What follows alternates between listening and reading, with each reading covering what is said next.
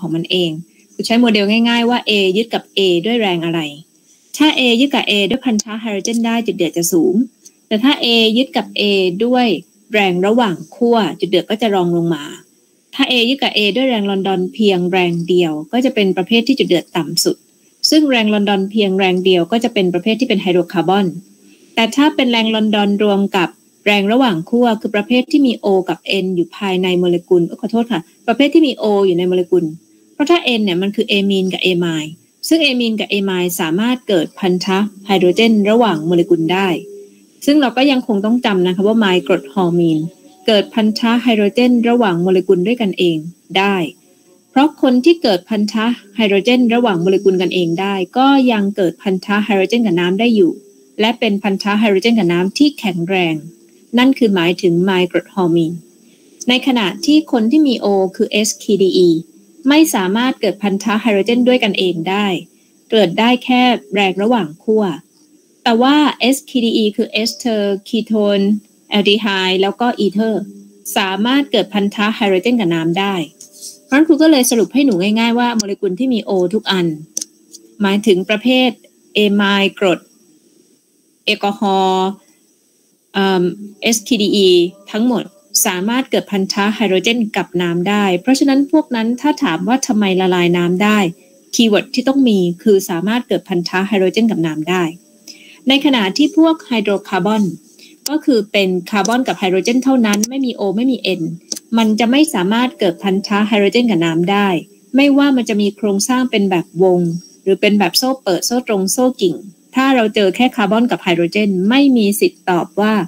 เกิดพันธะไฮโดรเจนกับน้ำได้ เพราะฉะนั้นเพื่อให้ปลอดภัยตัวเองก็คือตอบว่ามันไม่ละลายน้ำไปเลย ถ้าไม่มี O ตอบว่าไม่ละลายน้ำไปเลย แต่ว่าถ้ามี O และตอบว่าละลายน้ำแน่ๆใช่ไหมคำตอบคือไม่ไม่ใช่ ต้องดูจำนวนคาร์บอนด้วย ถ้ามี O แต่คาร์บอนน้อยๆ เช่นเป็นอีเทอร์ที่เป็น C2 หรือว่าเป็นเอสเทอร์ที่เป็น C3 C4 อันนี้ยังพอไหวที่จะละลายน้ำได้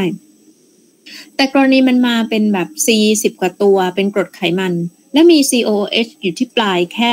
ติดเดียวอะ่ะครูว่าครูควรจะให้หนูดูโครงสร้างนะคะ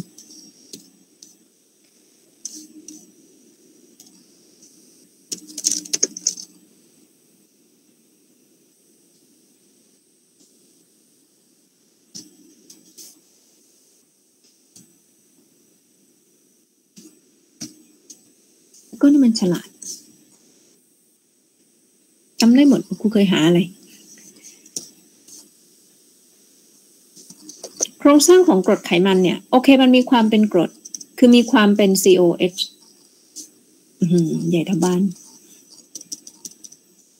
มันมีความเป็น COH เพราะมีหมู่ฟังก์ชันที่แสดงความเป็นกรด แปลว่าบริเวณนี้สามารถเกิดพันธะไฮโดรเจนกับน้ำได้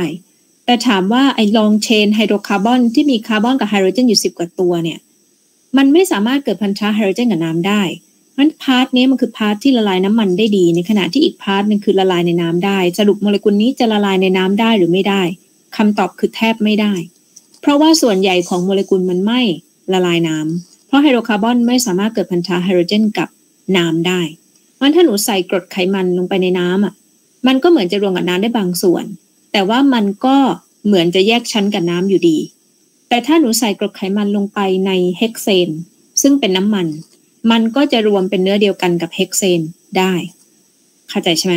เพราะเรื่องของหลักการ like dissolve like สิ่งที่มีขั้วจะละลายในตัวทำลายมีขั้วได้ ส่วนสิ่งที่ไม่มีขั้วจะละลายได้ดีในตัวทำละลายไม่มีขั้วคือจุดเน้นของสสวทที่เป็นเรื่อง like dissolve like อันที่ครูบอกหนูว่ากรณีมันมีโอแล้วจะตอบว่าละลายน้ำได้ดีเสมอไปใช่ไหมคำตอบคือไม่ใช่ เราสามารถตอบว่าเกิดพันธะไฮโดรเจนกับน้ำได้แน่ๆค่ะเพราะตรงนี้เกิดพันธะไฮโดรเจนกับน้ำได้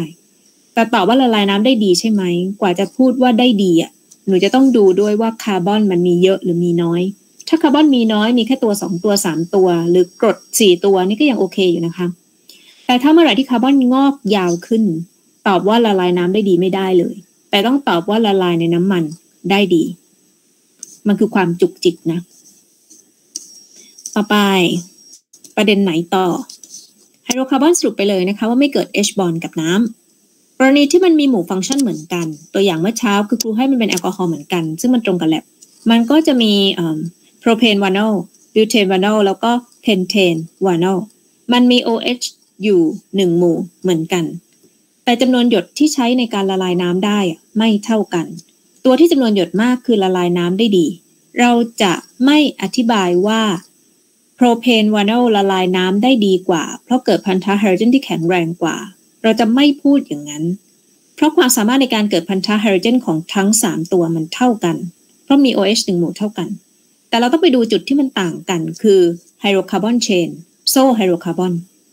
เราจะต้องตอบว่าจำนวนคาร์บอนที่มากขึ้นของบิว butan-1-ol และ pentan-1-ol ทำให้ความสามารถในการละลายน้ำของมันลดลง แต่ถ้าเราเปลี่ยนตัวทำละลายเป็นเฮกเซน เป็นอะซิโตน หรือเป็นอีเทอร์ มันก็จะละลายได้ดีขึ้น เพราะว่าส่วนไฮโดรคาร์บอนของมันยาวขึ้น นี่คือประเด็นที่เป็นสารประเภทเดียวกัน คือเป็นหมู่ฟังก์ชันที่เหมือนกัน ต่อไปประเด็นที่ถ้า C เท่ากันใช่ไหมถ้า C เท่ากัน กูไปไหนวะ โอเค c เท่ากันในที่นี้คือ c 5ครูให้เป็น c 5และเป็นกรดเหมือนกัน ก็จะเป็น pentanoic กรณีที่มันเป็นโซ่ตรง หรือ2 methyl butanoic กรณีเป็นโซ่กิ่งกิ่งเดียว หรือ2 2 dimethyl propanoic ก็จะเป็นโซ่กิ่งที่มีกิ่ง 2 กิ่ง กรณี C เท่ากัน เป็นหมู่ฟังก์ชันเดียวกัน ความสามารถในการเกิดพันธะไฮโดรเจนมันเท่ากันนะคะลูก เพราะหมู่ฟังก์ชันเดียวกัน ทีนี้ในแง่ของ การละลายน้ำเราจะต้องดูว่า ถ้าสีมากแรงยึดเหนี่ยวด้วยกันเองอะ ขอโทษค่ะ ถ้าโซ่กิ่งมากแรงยึดเหนี่ยวกันเองอะมันจะน้อย เพราะพวกนี้จะเดือดต่ำถ้าเราจำได้ตั้งแต่แรก พอมันยึดเหนี่ยวกันเองน้อย ก็แปลว่ามันจะละลายน้ำได้ดีกว่า คือไปยึดกับคนอื่น ในขณะที่คนที่เป็นโซ่ตรงเนี่ยมันยึดกันเองได้ดี พื้นที่ระหว่างโมเลกุลให้มันดึงกันเองได้ดี เพราะมันมีแรงลอนดอน มีแรงอะไรของมันที่มันยังเกิดแรงยึดเหนี่ยวได้อีก แต่กรณีมันจะเกิดแรงยึดเหนี่ยวกับน้ำมันต้องเป็นพาร์ท COH เท่านั้นที่ไปเกิดพันธะไฮโดรเจนกับน้ำอะ part ที่เป็นไฮโดรคาร์บอนไม่สามารถเกิดแรงยึดเหนี่ยวกับน้ำได้ แต่มันสามารถเกิดแรงยึดเหนี่ยวระหว่างตัวมันเองได้ ผลก็คือมันก็ไปยึดกันเอง มันก็ไม่ค่อยมายึดกับน้ำ เพราะในแง่ของโซ่ตรงจะละลายน้ำได้น้อยกว่าโซ่กิ่ง ยิ่งมันมีลักษณะเป็นก้อนๆก็คือเป็นกิ่งที่กระจุกกันมากเท่าไหร่ มันยิ่งลดความเป็นน้ำมัน แต่จะเข้ากับน้ำได้ดีขึ้น เพราะฉะนั้นในแบบฝึกหัดของเราที่จะมีโมเลกุลเมื่อเช้านะคะ มีโมเลกุลของลูกเหม็นแนปทาลีนแนปทาลีนเป็น aromatic เป็น aromatic ไฮโดรคาร์บอน เพราะฉะนั้นมันคือคาร์บอนไฮโดรเจนเท่านั้น ไม่มี O อันเราหาสูตรโมเลกุลมันก็จะเป็น C10H8 การที่สูตรโมเลกุลเป็นไฮโดรคาร์บอนทั้งหมด แปลว่ามันจะละลายได้ดีในชั้นของเฮกเซน เพราะเฮกเซนเป็นไฮโดรคาร์บอนล้วนๆเหมือนมันสองคนนี้เขาเหมือนกัน เขาจึงละลายกันได้ดี เป็น like dissolves like นี่คือจุดเน้นของสสวท ในขณะที่น้ำคือ H2O ตัวเองเป็นโมเลกุลโคเวเลนต์ที่มีขั้วตัวเองไม่เหมือนคนอื่น ตัวเองก็ต้องแยกจากคนอื่น สรุป มันก็จะเป็นของเหลวที่แยกอยู่สองชั้น เพราะเฮกเซนมันแยกกับน้ำตั้งแต่แรก ถามว่าทำไมเฮกเซนไม่รวมกับน้ำเฮกเซนไม่ละลายน้ำอยู่แล้วเพราะไฮโดรคาร์บอนไม่สามารถเกิดพันธะไฮโดรเจนกับน้ำได้ แล้วถามว่าทำไมแนปทาลีนถึงละลายในเฮกเซนได้ เพราะว่าเขาสามารถเกิดแรงยึดเหนี่ยวที่เป็นโมเลกุลไม่มีขั้วด้วยกันเอง ยึดกันเองแล้วก็รวมเป็นเนื้อเดียวกันได้ แต่ไม่สามารถยึดกับโมเลกุลมีขั้วคือน้ำได้ตามหลักของ like d i s of light นะคะ อีกประเด็นหนึ่งก็คือกรณีที่มันมี C เท่ากัน แต่หมู่ฟังก์ชัน มันคนละแบบคนละหมู่กำลังยกตัวอย่างใครวะ butanoic acid กับ butanol butanoic acid คือกรด หมู่ฟังก์ชันเป็น COH butanol หมู่ฟังก์ชันเป็น OH ทั้งคู่เป็นบิวเทนคือเป็น C4 เหมือนกัน C4 เท่ากัน แต่ว่าคนที่จะมีจำนวนหยดในน้ำได้มากกว่า คือบิวทานิกแอซิดทำไมถึงละลายน้ำได้ดีกว่า เราต้องพิจารณาที่หมู่ฟังก์ชัน ว่ามันมี O อยู่ 2ตำแหน่ง เพราะฉะนั้นบริเวณที่จะเกิดพันธะไฮโดรเจนกับน้ำได้จึงเกิดได้หลายที่ น้ำสามารถเกิดแรงยึดเหนี่ยวกับกรดได้หลายที่ เพราะสามารถเกิดพันธะไฮโดรเจนกับน้ำได้หลายที่ ที่หมู่ฟังก์ชันนี้เพราะมี O อยู่สองตำแหน่ง ในขณะที่ OH มันมี O อยู่ที่เดียวมันน้ำสามารถเกิดพันธะไฮโดรเจนกับตรงเนี้ย ได้แค่ที่เดียว อย่างมากก็สองจุดสองจุด เพราะว่ามันมีคู่โดดเดี่ยวอยู่สองคู่นะคะพูดแล้วจะงงไหมเนี่ยครูวาดแล้วใช่ไหมเนี่ย กรณีเป็น OH นี่ไง ตรงนี้เกิดพันธะไฮโดรเจนกับน้ำตัวนี้ได้ นี่คืออิเล็กตรอนคู่โดดเดี่ยวคู่ที่หนึ่งที่เหลืออยู่ อิเล็กตรอนคู่โดดเดี่ยวคู่ที่สองก็เกิดพันธะไฮโดรเจนกับน้ำได้ แต่หนูคิดดูว่าถ้ามันเป็นกรดอะถ้ามันเป็นกรดมันก็จะมี C พันธะคู่กับ O อยู่อีกที่หนึ่ง ถ้าตรงนี้เกิดได้สองตรงนู้นเกิดได้สี่อะ ถ้าตรงนี้เกิดได้สามตรงนู้นเกิดได้หกอาจจะประเด็นไหมมันจะเกิดพันธะไฮโดรเจนกับน้ำได้มากกว่า ถ้าหมู่ฟังก์ชันมันมี O มี N มากกว่าหนึ่งตัวโอเค เพราะฉะนั้นมันมีสามประเด็นเหมือนเดิม กรณีที่มี C เท่ากันหมู่ฟังก์ชันต่าง กรณีที่หมู่ฟังก์ชันเดียวกัน C เท่ากัน แต่เป็นโซ่ตรงกับโซ่กิ่ง แล้วก็ประเภทที่เป็นอะไร เป็นไฮโดรคาร์บอนล้วนๆ ไม่มีหมู่ฟังก์ชัน มันก็จะเป็นประเด็นที่พิจารณาที่ต่างกัน ซึ่งข้อสอบออกแบบไหนก็ได้นะคะ แต่อันนี้ครูคิดว่ามันง่ายกว่าเรื่องอื่น พอมันง่ายกว่าเรื่องอื่น ข้อสอบไม่น่าจะออกมันไม่ค่อยคุ้มแต่แบบฝึกหัดท้ายบทถามว่ามีไหมคำตอบก็คือก็มี เข็มห้าหนึ่งแปดหนึ่งหน้าหนึ่งร้อยแปดสิบเอ็ดนะคะ ท้ายบท ลองมาดูโจทย์ว่ามันถามเราประมาณไหน ซึ่งก็ไม่ได้ยากเกินไปนะ เอ้ยไอ้กดหลายรอบแล้ว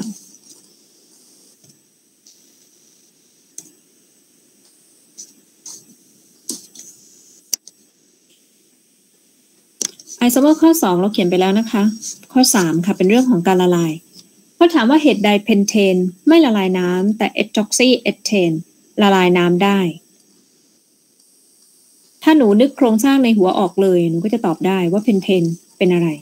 และเอทอกซีเอทเทนเป็นอะไรมีอะไรอยู่ในนั้น แล้วเกิดแรงยึดเหนี่ยวกับน้ำได้ ยังไง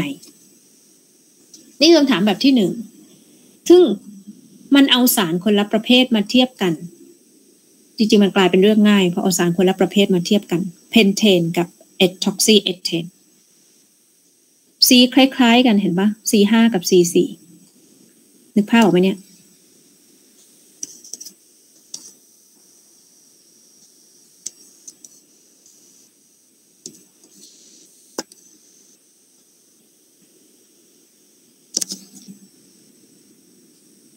ก่อนนะลูกหนูเขียนโครงสร้างแล้วก็คิดก่อน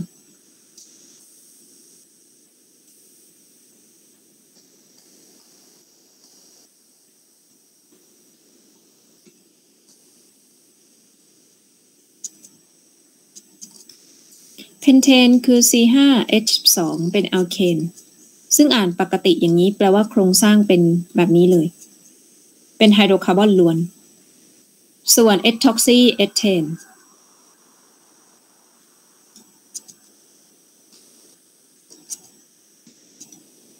มันคือสารประเภทไหน มันคืออีเทอร์ ที่มี C2 อยู่สองข้าง นี่คือเอทอกซีเอทเทนเพราะจริง ๆ แล้วตัวนี้เป็นโมเลกุลที่มีขั้ว มี O ดังนั้นการที่มันละลายน้ำได้ เราก็ล็อกคำตอบติดปากเราไว้เลย ว่ามันละลายน้ำได้เพราะมันสามารถเกิดพันธะไฮโดรเจนกับน้ำได้จ๋า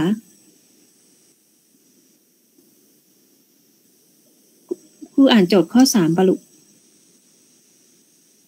ไม่เป็นไรไม่เป็นไร ไม่เป็นไรลูก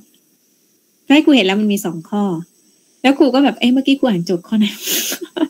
ครูก็ไม่ไม่ไม่มั่นใจในความมึนของตัวเองจ้าใช่เลยพอมาหน้านี้แล้วครูก็จะพาดูว่าตัวเตตราไซคลิน มันละลายน้ำได้ดีไหมอะไรอย่างเงี้ย จริงๆแล้วเตตราไซคลินตำแหน่งที่สามารถเกิดพันธะไฮโดรเจนกับน้ำได้ก็มีหลายตำแหน่งอยู่นะคะ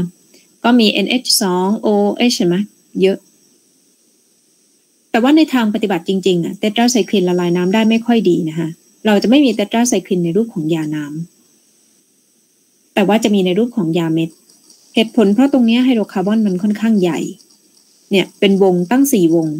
คือถ้าเขียนเป็นสูตรโมเลกุลนับว่า C เท่าไหร่ H เท่าไหร่ O มันแบกอีตรงเนี้ย ไม่ค่อยรอด การละลายค่อนข้างยาก ทั้งทั้งที่ดูแล้วมี OH เยอะ อืม เพราะอันนี้มันเป็นหลักการง่าย ๆอยู่ เพราะฉะนั้นอันไหนที่มี O เราก็พูดให้ติดปากว่ามันสามารถเกิดพันธะไฮโดรเจนกับน้ำได้เท่านั้นเอง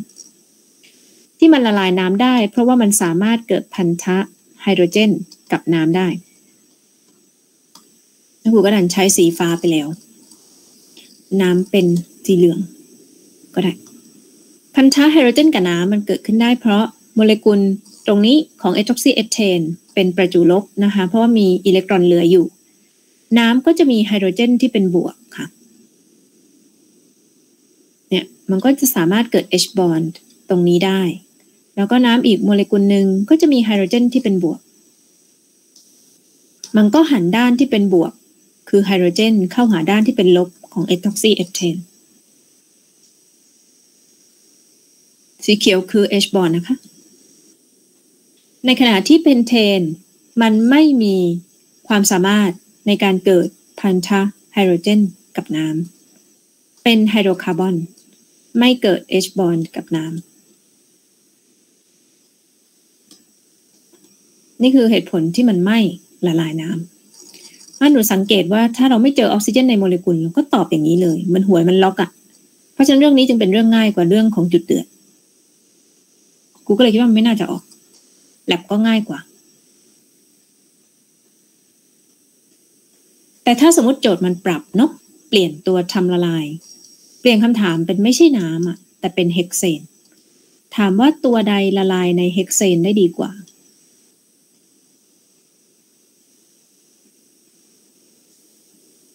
หนูก็ต้องรู้ก่อนว่าเฮกเซนมันคือ C6H14 จริงๆ เฮกเซนคือตัวนี้เลย เพราะฉะนั้นเนี่ย มันคุยกันรู้เรื่องมาก เพราะว่าโครงสร้างมันแทบจะเหมือนกันอยู่แล้ว ดังนั้นคนที่ละลายในเฮกเซนได้ดีกว่า หมายถึงจะได้จำนวนหยดที่มากกว่า จะกลายเป็นเพนเทนแทนที่จะเป็นเอทอกซีเอทเทน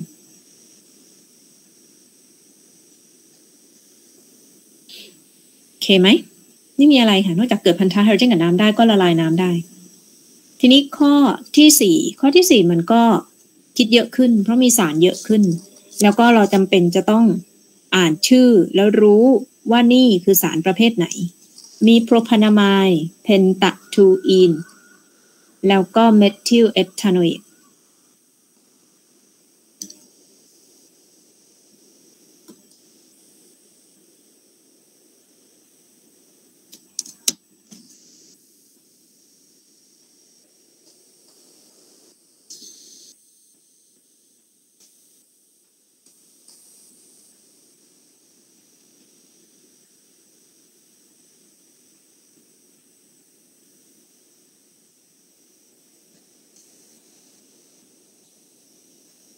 ขียนโครงสร้างก่อนนะลูก หนูลองเขียนโครงสร้างก่อน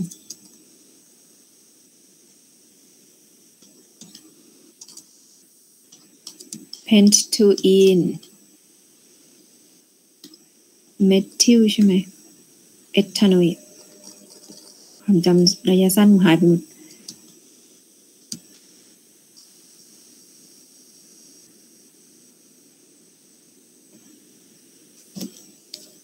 เขาให้ เรียงอ้าวเขาให้เรียงจุดเดือดทำไมยังไม่สอนวะเขาให้เรียงจุดเดือด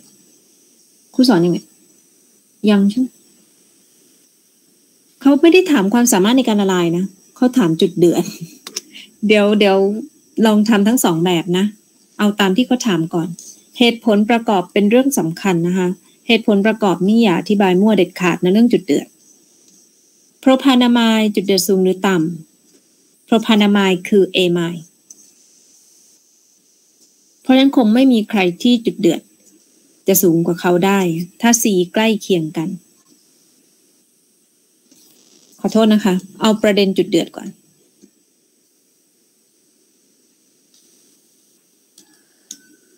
ตามโจทย์นะโพรพานามายจะเป็น C3 แล้วก็ C ที่หมู่ฟังก์ชันนับให้เป็น C1 เสมอ โพรพานามายกับโพรพานามายด้วยกันเอง จะเกิดพันธะไฮโดรเจนที่แข็งแรง เพราะมันคือหมู่ฟังก์ชันประเภท A ไมล์โพรพานามายเป็นเอไมล์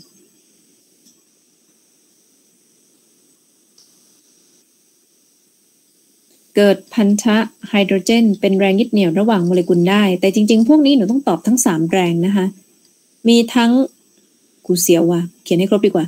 มีทั้งลอนดอน แรงแผ่กระจายลอนดอน แรงระหว่างขั้วไดโพไดโพโมเมนต์แล้วก็พันธะไฮโดรเจน เป็นแรงยึดเหนี่ยวระหว่างโมเลกุล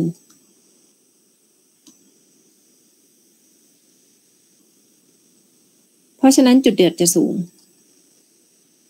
ถึงแม้เขาจะมี C น้อยกว่าชาวบ้านนะคะ จุดเดือดเขาจะสูงกว่าคนอื่น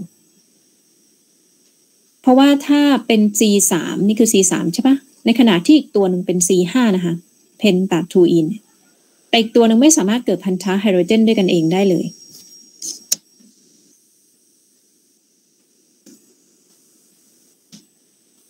pent-2-ene โครงสร้างก็มีได้ทั้ง cis และ trans isomer อีก pent-2-ene อยู่ที่ C2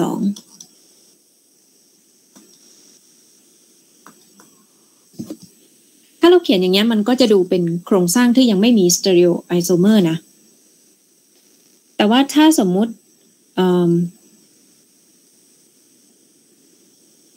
เรางงครูไหมจริงๆมันมีไฮโดรเจนอยู่ตรงนี้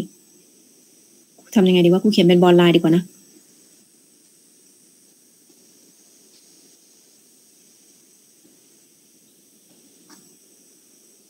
หนึ่งสองสามสี่เขียนผิดป่ะ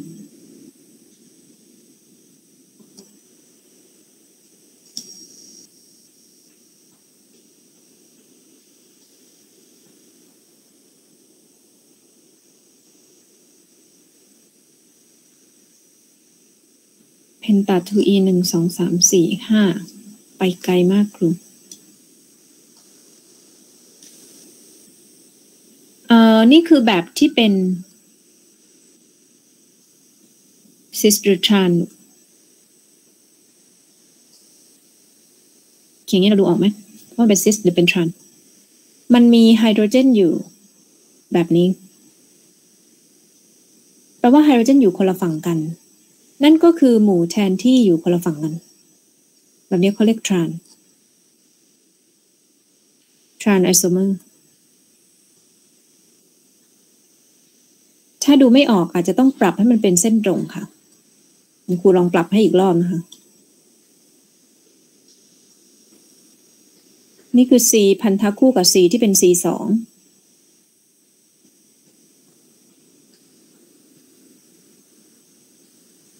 เป็น C ตำแหน่งที่สองแล้วตรงนี้คือ e t h y l no ครูไม่ควรจะพูดอย่างนั้นในเรางงหนึ่งสองสามตัวเนี้ยหนึ่งสองสาม โอ้ยกูใช้สีดีกว่านะ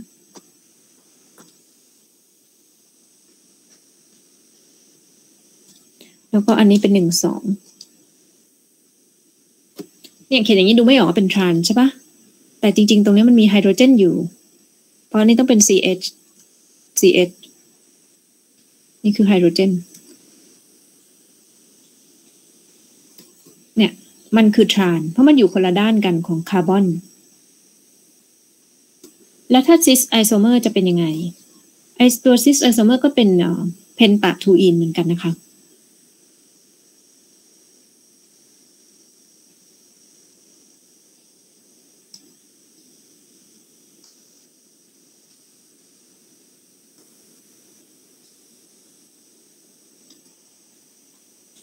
cis isomer เราจะสามารถเขียนไฮโดรเจนสองตัวนี้อยู่ฝั่งเดียวกันได้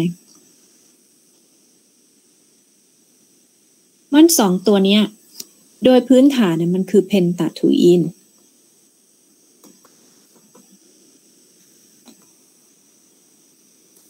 แต่เนี่ยอ่านแบบไม่แคร์ความเป็น stereoisomer แต่ว่าถ้าเข้าใจว่าใน pent-2-ene สารมันอยู่ได้สองรูป คือรูปที่เป็น trans isomer กับ cis isomer เราก็จะอ่านอันนี้ว่า trans pent-2-ene อ่าใช่ และอันนี้ก็จะเป็น cis pent-2-ene ซึ่งความเป็น cis เป็น trans เนี่ย มันจะมีผลต่อสภาพขั้วของโมเลกุล แต่จริงๆ อันนี้ถ้าครูไม่ไม่อยากพูดมากอะครูก็สามารถพูดกันหนูแค่ว่า มันมีแค่ไฮโดรคาร์บอน แล้วก็ตอบว่ามันไม่มีขั้วไปเลย ด้วยความที่มันเป็นอัลคีนใช่ปะมันก็จะเป็น C5H10 ทั้งคู่อะนี่ก็ C5H10 นี่ก็ C5H10 ถ้าไม่อยากพูดมากก็บอกหนูแค่ว่า มันเป็นไฮโดรคาร์บอนไม่มีขั้วจบ แต่หนูรู้ว่าจริง ๆ แล้วโมเลกุลมันไม่ได้สมมาตรมันไม่ได้ balance มันถ้าอยู่ในรูปของ trans เนี่ย มันก็จะมีความสภาพขั้วอยู่ เพราะฝั่งหนึ่งมี C ตัวเดียวอีกฝั่งหนึ่งมี C สองแต่ว่ามันจะค่อนข้างหักล้างกันได้ แต่ไม่หมด มันจะหักล้างได้หมดเมื่อตรงนี้เป็น C สองด้วย แต่ว่าถ้าพิจารณา cis isomer เนี่ย อันนี้มันจะหักล้างกันไม่ได้ เวกเตอร์มัน มันไม่ใช่ทิศตรงข้ามกัน เพราะฉะนั้นอันนี้สภาพขั้วสูงกว่าหน่อยหนึ่ง อันนี้สภาพขั้วต่ำกว่า trans isomer สภาพขั้วจะต่ำมาก ถ้าสองด้านสมมาตรปั๊บไม่มีขั้วเลย ไม่มีเลยแม้แต่นิดเดียว เพราะไฮโดรเจนก็หักกันหมด เอทิลก็หักกันหมด การที่แอลคีนมันมีไอโซเมอร์ปนกันอยู่แบบนี้จึงทำให้แอลคีนเป็นสารที่มีจุดเดือดต่ำสุด ในบรรดาไฮโดรคาร์บอนทั้งหมด ถ้าหนูจำได้อัลคีอัลคายน์พันธะสามมาสูงสุด รองมาเป็นอัลเคน แล้วอัลคีนต่ำสุด เพราะมีไอโซเมอร์ที่สามารถไม่มีขั้วเลยก็ได้ ก็คือทรานส์ไอโซเมอร์อันจริงๆคุณไม่ต้องเขียนกระจายให้มันยุ่งยากด้วยซ้ำข้อนี้นะ พูดให้ง่ายที่สุดคือมันไฮโดรคาร์บอนไม่มีโอไม่มีเอ็นไม่เกิดพันธะไฮโดรเจน ไม่มีสิทธิ์ไปเพเยอแข่งกับใคร ถึงแม้ตัวเองจะมี C ห้าจุดเดือดต่ำโคตร ไม่มีทางชนะ เอไมด์ ถึงแม้ เอไมด์จะเป็น C3 แรงยึดเหนี่ยวระหว่างโมเลกุล เป็นได้มากสุดแค่แรงระหว่างขั้ว แล้วระหว่างขั้วแบบติ่งๆ ด้วย เพราะสภาพขั้วต่ำจริงควรจะตอบว่าเป็นลอนดอนเพียงแรงเดียว ครูขอตอบว่าแรงยึดเหนี่ยวระหว่างโมเลกุลของ pent-2-ene มีแค่ลอนดอน เพราะว่าจะตอบว่าเป็นโมเลกุลมีขั้วสภาพขั้วก็น้อยมาก เพราะว่าต้องเป็นซิส ไอโซเมอร์ แล้วแถมในนี้มีซิสกับทรานส์ปนกันอยู่ แต่ครูแค่จะ remind หนูบางอย่าง ก็เลยพูดเยอะขึ้น ต่อไปเมทิลเอทานอเอตเมทิลเอทานอเอตมันคือเอสเทอร์เมทิลเอทานอเอต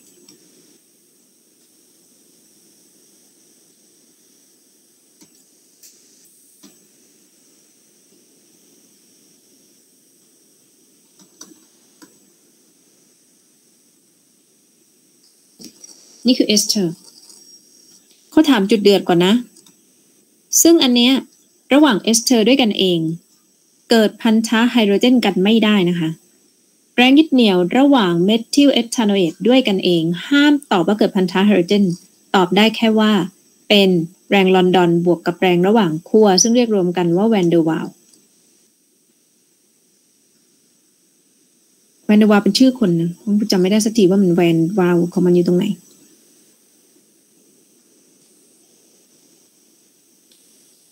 เพราะฉะนั้นจุดเดือด สูงกว่าเพนตาทูอินอยู่แล้วฮันเราเรียงเบอร์หนึ่งคือต้องให้โปรพานามายไม่ใช่เหตุผลเพราะมันมี C มากที่สุด แต่เป็นเหตุผลเพราะมีหมู่ฟังก์ชันเป็น A ไม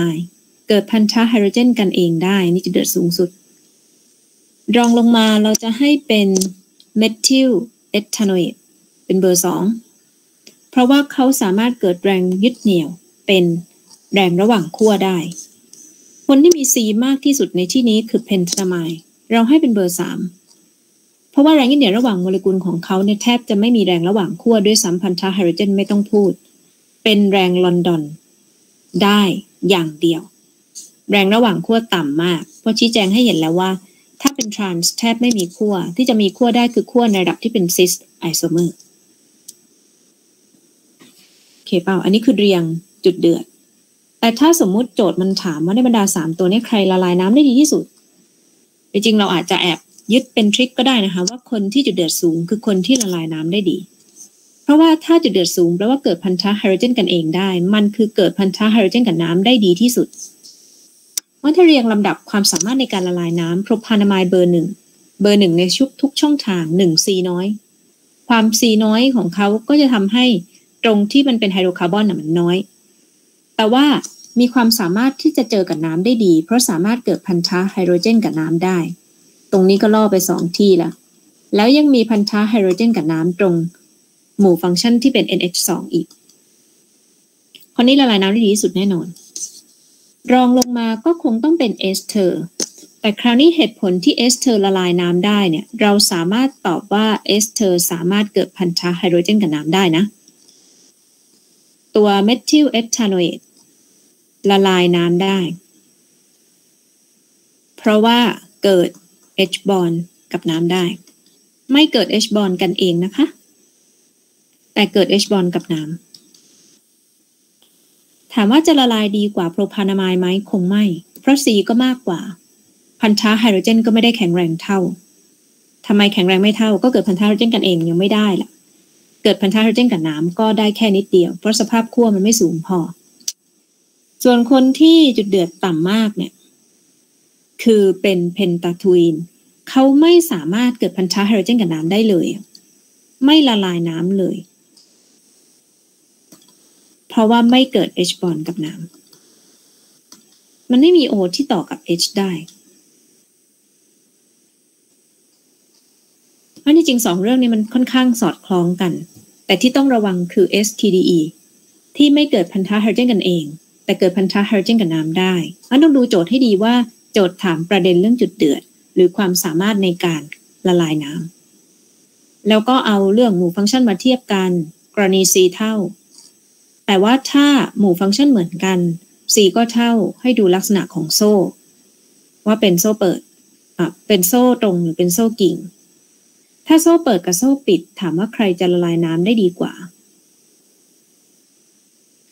อืม ยังไม่ได้เทียบเลยเนาะ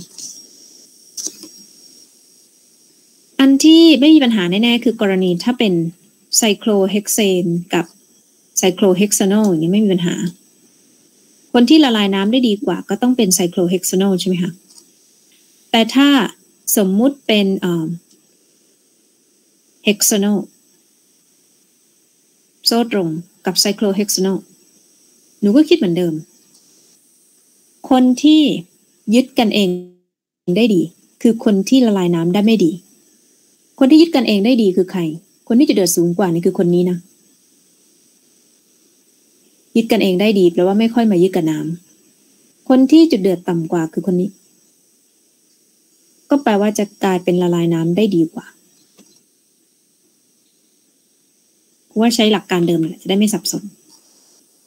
แต่อันนี้ไม่น่าไม่น่าจะอยู่ในข้อสอบเพราะไม่ใช่ประเด็นที่เขาพูดถึง เรื่องการละลายน้ำของโซ่เปิดกับโซ่ปิด แต่เขาพูดในประเด็น C เท่าหมู่ฟังก์ชันต่าง C เท่าโซ่ตรงกับโซ่กิ่ง แล้วก็ประเภทหมู่ฟังก์ชันที่ต่างกัน ในหนังสือเรียนหนูควรอ่านนะคะ เพราะมันจะใช้ภาษาของหนังสือเรียนในการออกข้อสอบ ถามว่าเรากระโดดข้ามอะไรไปบ้างวันในหนังสือเรียนนี่แหละครูกังวลพวกเหล่านี้ ที่ยังไม่ได้เปิดอ่านหนังสือเรียนกันหนูแต่คืออยากจะปิดจบ เนี่ยที่จริงสอนหมดแล้วหนูดูประโยค โครงสร้างโมเลกุลที่เป็นกิ่งก้านเกะกะมากขึ้นสามารถช่วยเพิ่มการละลายน้ำได้อย่างเงี้ยหนูว่ามันเมคเซนหรือเปล่าอ่านแล้วประโยคนี้ มันแบบ อะไรวะโครงสร้างเกะกะละลายน้ำได้อย่างเงี้ยมันไม่เมคเซนเนี่ย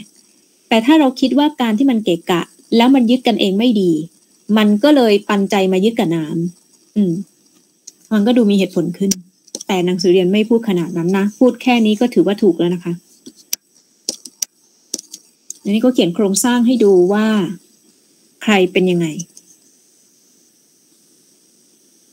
พวกที่มีออกซิเจนอยู่เขาเหมารวมให้เป็นพวกละลายน้ำได้ดีหมด เพราะเกิดพันธะไฮโดรเจนกับน้ำได้ แต่ถ้าเราใส่ใจรายละเอียด เราจะเห็นว่าตัว SKDE เขาวาดน้ำให้แค่ที่เดียวเห็นปะแต่พอเป็นตัวคาร์บอกซิลิกเขาวาดน้ำให้สองที่เพราะว่ามันสามารถเกิดพันธะไฮโดรเจนได้หลายตำแหน่งกว่าจริง ๆ ถ้าเป็นเอไมก็ต้องวาดมากกว่าหนึ่งที่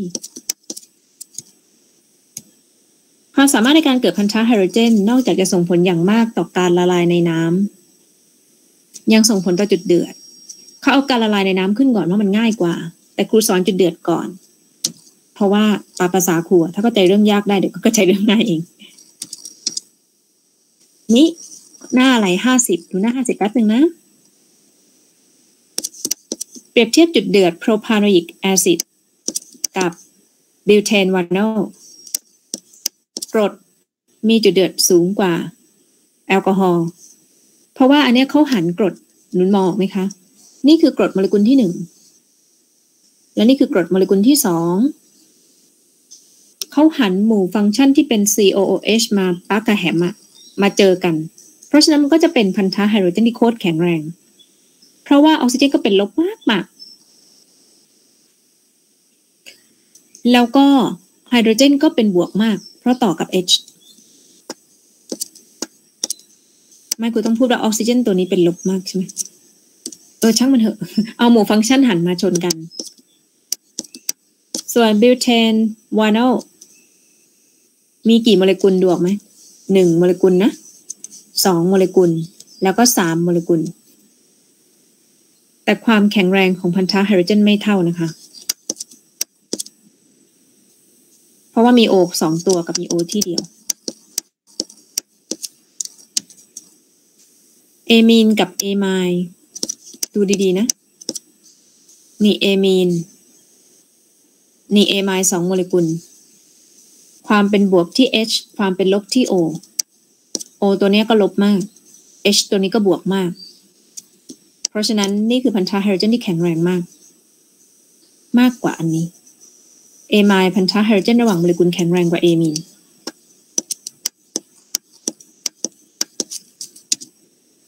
โอเค น่าจะหมดแล้วค่ะ ประเด็นกายภาพ ที่กูเร่งเพราะว่าเดี๋ยวเราจะขึ้นประเด็นสมบัติทางเคมีเพราะเดี๋ยวเราต้องกลับมาเขียนไอโซเมอร์ใหม่ เมื่อมันเกิดปฏิกิริยาการเติมการแทนที่จะได้กี่ไอโซเมอร์ ซึ่งบางทีเขาเอาไอโซเมอร์ผลิตภัณฑ์มาทำนายสารตั้งต้นว่าเป็นไอโซเมอร์ไหน ซึ่งแบบที่เรียนพิเศษทุกที่จะสอนเรื่องนี้หนัก เพราะมันคือปฏิกิริยาเคมีที่เชื่อมโยงไอโซเมอร์ แต่เรื่องการละลายกับ จุดเดือดเขาสอนมาแป๊บเดียว โอเคนะจะปล่อยแล้วลูกวันนี้ก็เหนื่อยแล้วเหนื่อยตั้งแต่วันจันทร์การบ้าน